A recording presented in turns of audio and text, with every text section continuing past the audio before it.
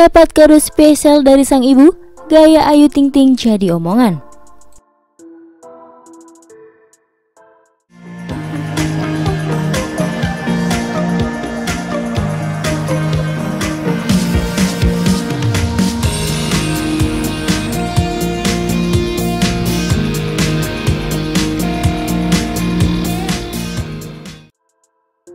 Tapi sebelum lanjut ke videonya, jangan lupa klik tombol subscribe dan aktifkan tombol loncengnya.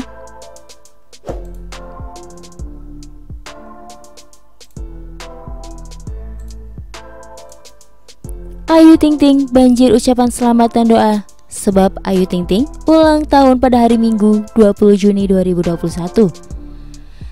Di hari ulang tahunnya, gaya Ayu Ting Ting jadi omongan Terlebih diketahui Ayu mendapat kado spesial dari sang ibu, Umi Kalsum.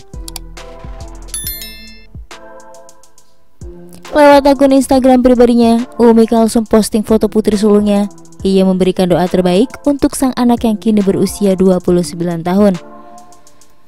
Umi Kalsum merasa senang karena kado ulang tahun pemberiannya dipakai Ayu Ting Ting. Hanya saja Umi Kalsum tidak mengungkapkan secara detail mengenai kado yang dimaksud. Selamat pagi anak ibu, selamat ulang tahun ya nak. Semoga panjang umur dan sehat selalu. Apa yang kamu harapkan doa-doa kamu terkabul. Semoga Allah selalu jaga kamu. Maafin ibu upload foto yang ini.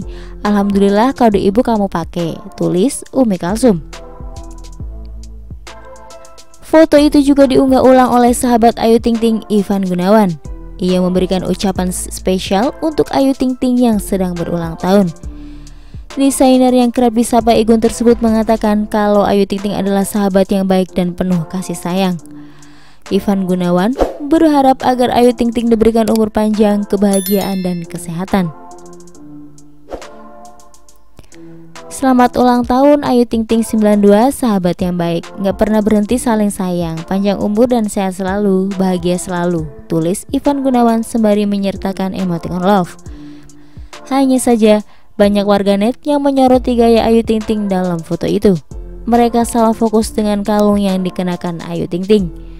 Mereka mengaitkan outfit Ayu Ting Ting dengan artis lain serta mempertanyakan bahan dari kalung tersebut. Amin, by the way salfok sama kalung berliannya Mbak Ayu, tulis warganet. Kalungnya ada sedikit kemiripan atau mirip banget. Komentar lainnya. Aurel juga punya kali ah, timpal warganet. Di sini aku baru paham, kalung berlian itu ternyata cocok-cocokan sama aura ternyata ya, kata yang lain.